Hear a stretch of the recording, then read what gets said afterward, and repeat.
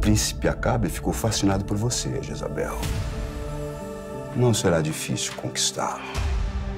A chegada de Jezabel em Samaria, ela, ela bota em xeque essa fé dos, dos israelitas. Eles vão trazer mais idolatria para Samaria.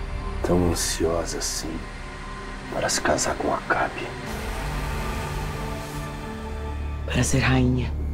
Só isso. Encantado pela Jezabel, é uma personalidade fraca, acaba sendo dominado, né, submetendo a tudo que ela quer. Precisa entender que uma aliança com a Fenícia é extremamente necessária para fortalecer a defesa de Israel. O Senhor Deus Todo-Poderoso é o suficiente para Israel. Ela simboliza, para aquela época, o mal.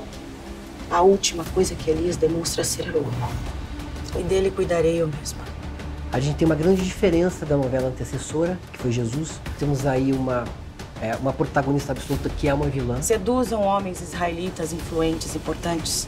Então usava a sedução e essa inteligência dela para dominar todo mundo. Baal e Aserá nos livrarão da praga de Elias. É o profeta que tem causado todo o sofrimento do povo. Nos dias atuais, paralelo que a gente pode fazer dessa mulher empoderada que Jezabel foi. Até hoje não conheci uma mulher como você. E nem depois de hoje conhecerá apesar do, do lado dela mal, do lado dela vilã, é uma vilã inteligente.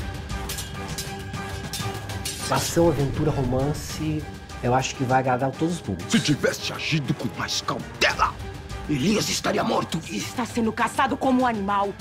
O que quer mais que eu faça?